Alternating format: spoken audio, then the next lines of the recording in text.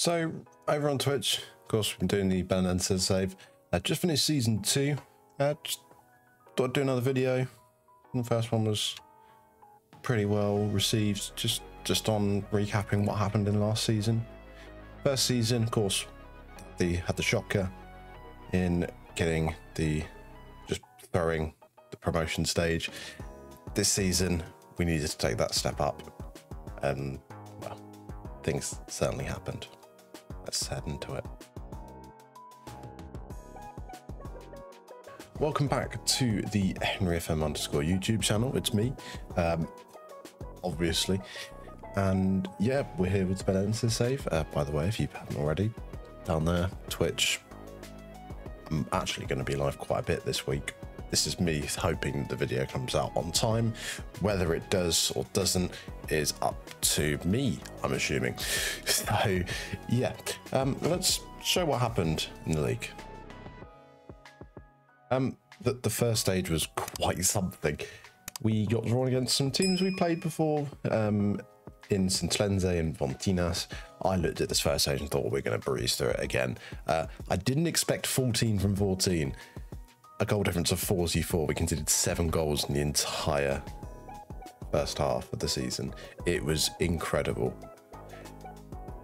The problem was going into the second stage where things looked like they on, paper a little bit trickier even than last year. Um, so yeah, as you can see, Sporting's B team got relegated to uh, the fourth tier. At the start of the season, they were 1 to 91 to go back up that got down to like one to ten full start season. We were like second or third, um, but we this this time, this time we finally managed to continue the form um, pretty well as well. I mean, we lost one game. I believe that was one of the last games. Arts we'd already sealed it, getting getting promoted. Um, th that 31 goals for and six goals against is quite something, but 33 points from 14 games. And I mean, it all started very well. As you can see down the bottom there, the 4 0 win against the Sporting's B team. However, not only did we get promoted, we, we did a little, we did something else as well. I'll show you that right now. Yeah, um, the, the Taça de Portugal, we somehow made it to a final. Uh, I mean, we'll ignore the fact that in the final we, we came up against Porto, who smashed us. But saying that, we we did play the Super Cup. I don't know why we were in the Super Cup because we didn't win the competition. I guess it's because Porto won the double. They put us in. Um, we did play the Super Cup against them last stream and only lost one 0 So we've we've made progress. But yeah, I'll let's let's run through what happened in this uh, in this cup run. As you can see, um, it started off very sketchy against a non-league side. We only got through 2 0 in extra time, we really did scrape through, and they had 10 men after 61 minutes, which wasn't ideal. Uh, we then went to play Gil Vicente, who, as far as I remember, I believe they're in second tier. Um, pretty unbelievable result 3 0. That's when I thought, okay, we're actually way too good to be where we are. You're doing a journey, man. Lovely. Where are you started? Oh my god, we're can't afford to buy more storage because I'm poor as fuck. Go on, Paris. To make it two. Oh my god. We're. This is amazing. Suarez. Oh my god. Ref. Moreira. Shichenje. Oh, what a ball. Oh my god, it's three. It's three. It's bloody 3 0. We have to get promoted, maybe even back to back. Uh, then Loures 4 2, believe they're in the same tier as us. We then had back to back games against first division opposition. First, we went, we played at home against Tondela. We won 3 0. And it wasn't even like it was lucky. We deserved to win 3 0. To Glassa. Glassa! Oh! That is a worldie. Pereira. Silva. Collins again. Paris. It's. Sorry I'm this good which was incredible. We then drew another first tier side in Estoril. Uh, we drew them in the quarter final. Took them to penalties. It was it was a pretty pretty interesting game. A bear truck. Was it a truck of bears then? Oh my god. Oh my god! Come on, Vieira, save this. Oh yes! Come on! Um, I mean, I'll probably sprinkle in highlights here and there of some interesting moments, but they equalised in the 81st minute. But we did take them penalties and got ourselves a semi final spot against Vizela, who were also in the second tier. Uh, nil nil at home, I thought, oh, it's going to go badly. And away from home, they took the lead. Ivo Lucas, one of the many new transfers we made, came off the bench to through on away goals. Silva, oh my god. Oh, you're all giving it this. Oh, you're bad, you're bad. No. 1 0. Wait. It was away goals. Come on. It was away goals. Oh, I didn't realise they were away goals. Where we then, we, we don't talk about Porto. Runners up in the fourth tier. It, it was just, it was absurd. It was absurd.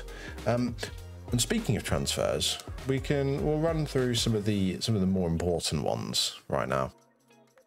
Um, I should probably quickly mention just before we go through the transfers of people we bought in. Uh, Collins, yeah, his his release clause got activated. Vitória bought him. We have got him on loan. We did have on loan for season, and we've got him on loan for next season as well. I couldn't not do it.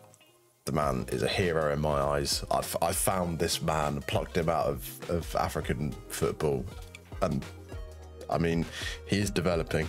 He's already got five caps for Kenya. Just, I feel like the just the fact that he's Kenyan, a Kenyan international, might be the what makes it for me. Uh, but yes, the transfers. Now, starting off, one of the one of the ones I was really excited about, Miguel Tavares, Cape Verdean, on a free, looks like a very good player, doesn't he? On the left, could be an inverted winger.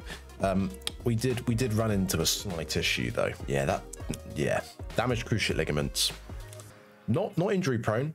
But the third time he's done his cruciate ligaments, and yeah, seven months out before I even played a proper game with him.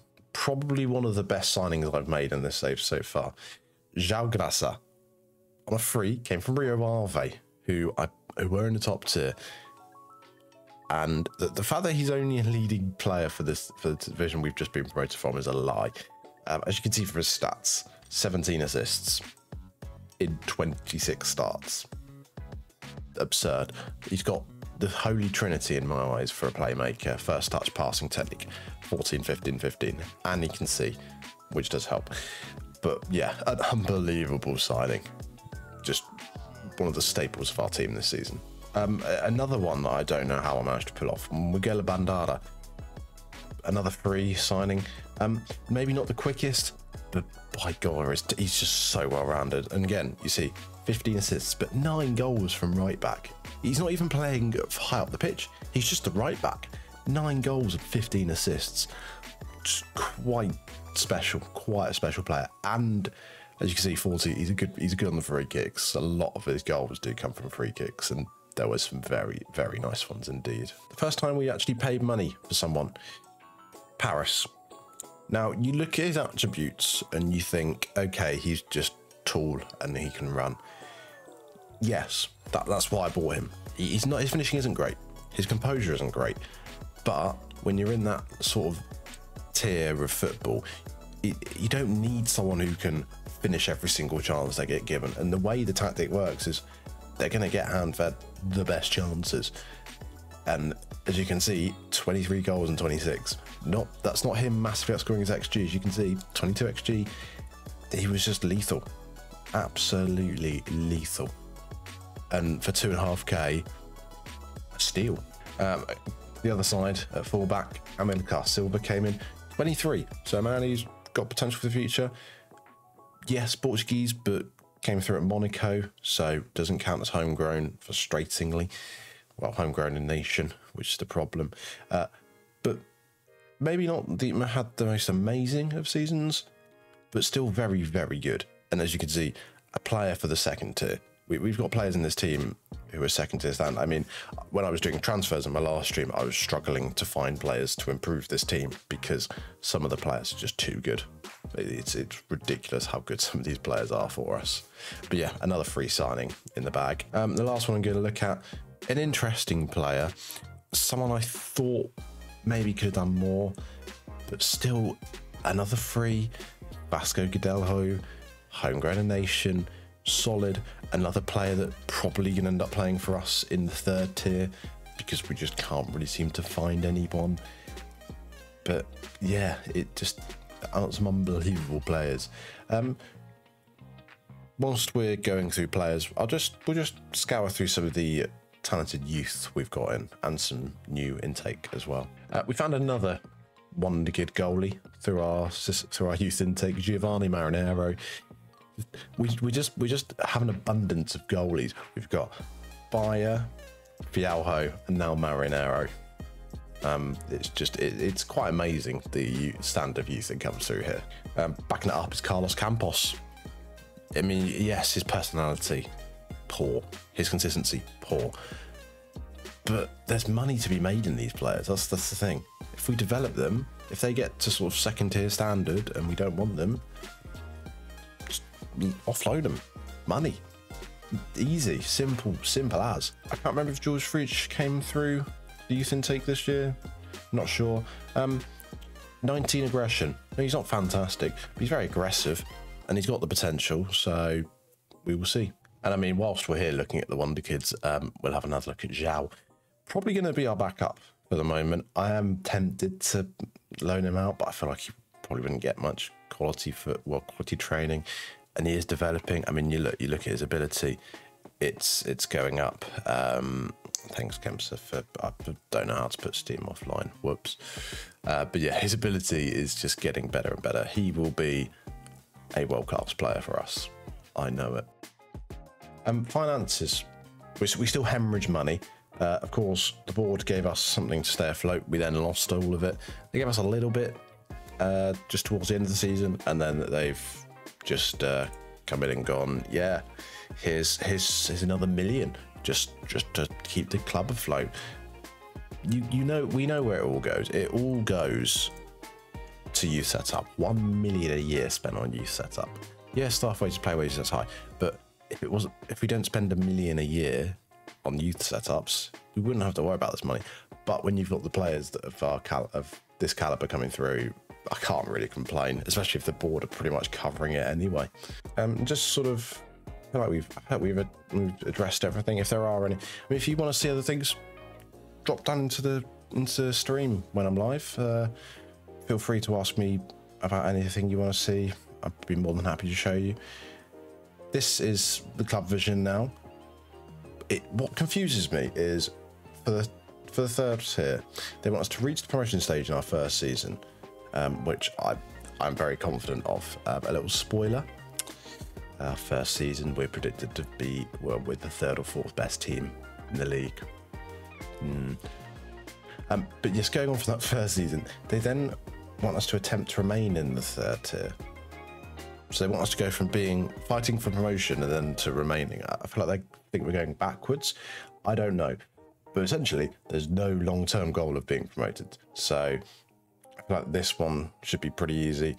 Develop the best youth system in the country.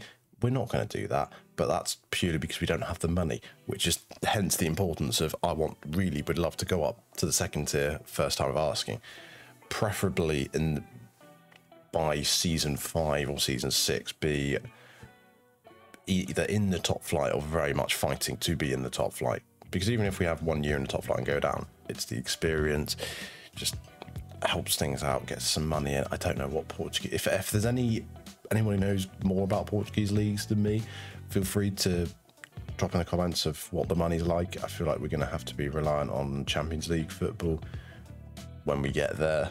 I feel like we're, we're a long way away from that, but yeah, it's it's going to be interesting. That is that. And again, just a short update video. I don't want to be going on for hours and hours about about the save and all that stuff. Uh, it's mainly just sort of a little recap for those that can't always jump in and watch the streams, just sort of end of season recaps and stuff. Um, but yeah, if you do want to watch the save unfold live, the Twitch link will be there. Um, if you've enjoyed the video, give it a thumbs up, uh, comment some comment. Good job so far. Just comment that. Um, and give it a sub. All these things help boost the algorithm, and that's important on YouTube. I mean, hopefully we'll be getting to 100 subs soon, which is kind of cool, considering that I very much this is very much not my priority. I feel like I'm a I put more effort on Twitch, uh, which is why you should go and uh, sub to the Twitch. And but yeah, if you do enjoy these, good. That's why I make them. Uh, hopefully, we'll have an Arsenal video out in the near future. Uh, I've got some other ideas I'm thinking of. It, it's basically it's time, time constraints as well, and everything.